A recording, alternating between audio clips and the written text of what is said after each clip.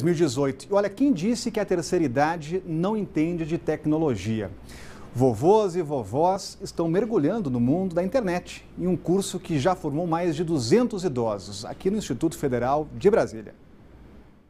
O seu Francisco é aposentado e estava em busca de uma atividade para preencher o tempo livre que o ajudasse a ampliar os conhecimentos. No curso de informática, ele redescobriu o lado estudante e a vontade de aprender. O retorno para o ninho é um desafio para quem está aposentando e foi o meu caso, né? E aqui eu vim buscar esse conhecimento. Eu vou me estabelecer no segundo, que agora é o conhecimento de imagem, de formatar imagem, de formatar texto, de adquirir para que eu possa também navegar nessa área e contribuir para a minha própria formação.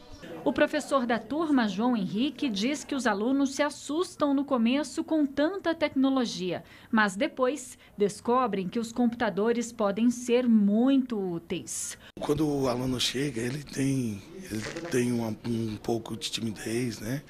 É, é, tem medo do computador. Aí depois ele interage melhor, ele vai conhecer da tecnologia, ele vai vendo recursos, os recursos que o computador proporciona, né?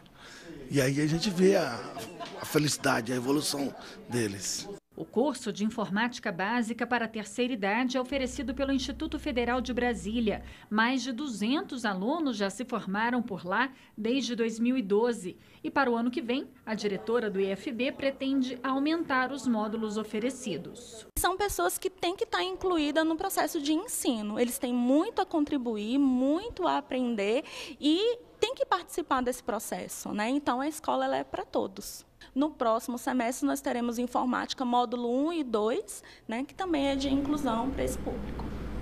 E as inscrições para o curso, que será oferecido no primeiro semestre do ano que vem, acabam hoje. Os interessados devem acessar o site processoseletivo.ifbedu.br. E a seguir, e mais um